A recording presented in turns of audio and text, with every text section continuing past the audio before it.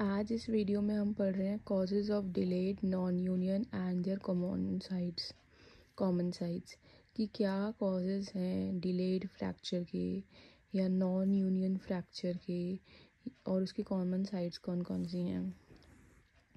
Causes related to the patient is its age common है old age में, या फिर कोई पहले से ही बीमारी है और उसके बाद फ्रैक्चर हुआ, जैसे मेलिग्नेंसी या फिर ऑस्टियोमलेशिया अब causes related to the fracture जिसमें है distraction at fracture site fracture site पर डिस्ट्रैक्शन है ग्रेविटी की वजह से या फिर मसल पुलिंग फ्रैगमेंट्स की वजह से.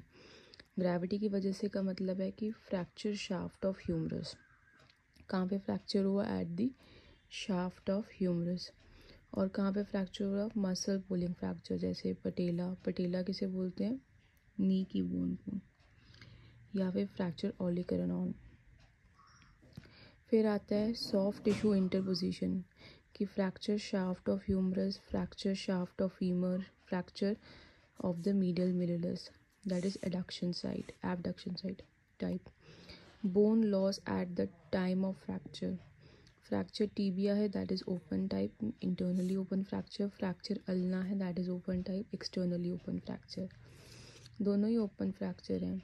एक एक्सटर्नली ओपन एक है इंटरनली ओपन एक्सटर्नली ओपन में आता है टीबिया का फ्रैक्चर और इंटरनली ओपन में आता है अल्लाह का fracture infection from open fracture that is fracture of tibia damage to the blood supply of the fracture fragments जिसमें आता है fracture of the neck of femur या फिर fracture at the lower third of the tibia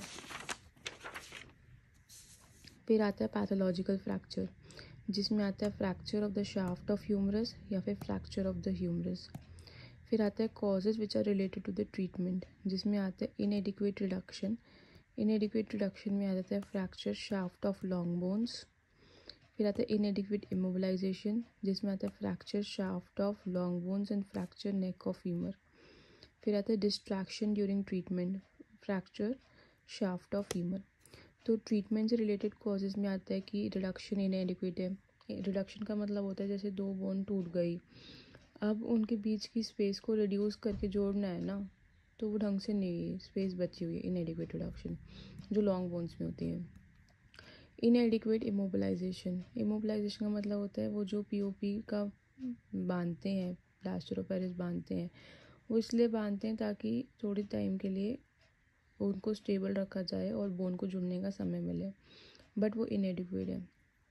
Long bones of human distraction during treatment अगर treatment के दौरान distractions हैं तो क्या होगा? ठीक से नहीं होगा फ्रैक्चर शाफ्ट ऑफ़ ह्यूमन ढंग से नहीं जुड़ेगा। ठीक है तो ट्रीटमेंट रिलेटेड कॉजेज हैं, तीन। फिर रिलेटेड टू फ्रैक्चर में क्या आ गया? साइड ऑफ़ फ्रैक्चर की ग्रेविटी या muscle pull soft tissue interposition bone loss infection damage of the blood supply और क्या है? पैथोलॉजिकल फ्रैक्चर फिर आ जाता है कॉज टू द पेशेंट जिसमें आता है एज या फिर disease so this is all about causes and thank you for watching this video